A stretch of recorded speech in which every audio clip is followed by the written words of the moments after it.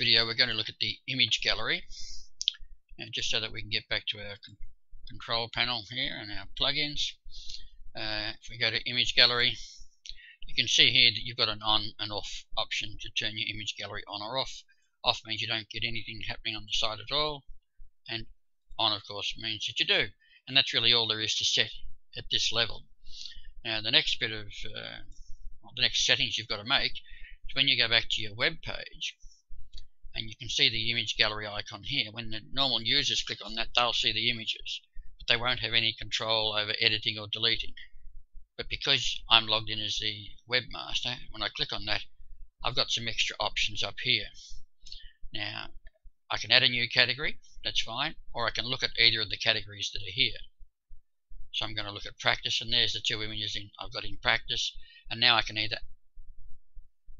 add a new gallery image or images. I can edit the images in this gallery or I can edit the actual uh, category itself. So you've got to select a category. If, if you don't select a category, those options disappear. And again, I select a category. I can edit the images in that category. If I click on that, this is where you edit them. And this is where you can choose to either have it in no slideshow or have it as snapshot sorry, snapshot or as the normal slideshow. Uh, it depends really on the picture because some pictures, uh, because of their size, uh, may not be that good in a snapshot and may be more appropriate to slideshow. But remember, this goes back to the gallery, image gallery option in your control panel under plugins. You can only choose to use one of those, snapshot or publish or um, slideshow.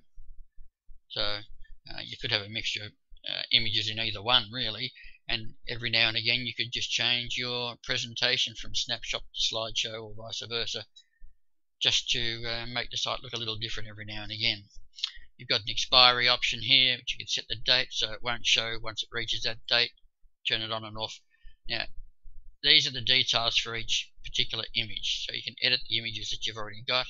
Once you've changed anything here you must click on update got to click on update to actually record that information about that image. You can put in some information here in relation to the a description of the image. You can even change it from one category to another. So you instead of being in the practice category, you can choose trip. But again, once you've done that, you must update. And you see it disappears from that list as we put it into trip. Now if we go back and we select the trip category, the images there that we had previously in the practice gallery. Uh, so edit images allows you to make all sorts of changes there and we might decide at the end of the day to delete this one in particular. So click on delete, are you sure? Okay, and that one's gone. Of course when we come back it's gone from the list completely. If you want to add a new category, it's quite simple. You just simply click on add category and um, I'll call it funny stuff. There you go. Save it. And I now you have a new category funny stuff. And now that I've selected it, I can add images to it. I can edit the category. So you might just want to change the category's name without having to change all the photos around. Or it might be a typing mistake. Well, you can you can do that there through edit category. And add new images to funny stuff. This is, uh, allows you to download uh, multiple files and there's no real restriction on size but it is suggested that you keep all of your images, photos, roughly the size of about 800 by 800 pixels. Certainly no more than 1000 by 1000 pixels. And certainly they shouldn't be over uh, probably one and a half or so megabytes each don't go uploading files at a 6, 7, 8, 9, 10 megabytes. Total waste of time, energy, space, and speed of your internet. So to add files, we can click on add files and just do a couple of quick ones here. And we'll go to pictures. So click on pictures. And I'll add a couple that are here. That one. Use control and click so you can select more than one. Click open. It lists them here. shows you the current size of them. And then you just click on start upload. See the green bar here? Don't close the window until that green bar is finished. You should have ticks for all of them. If there's a problem with one of them you'll end up with a red cross meaning that it, that one didn't work. They've all worked. We've got 100% that's the total size.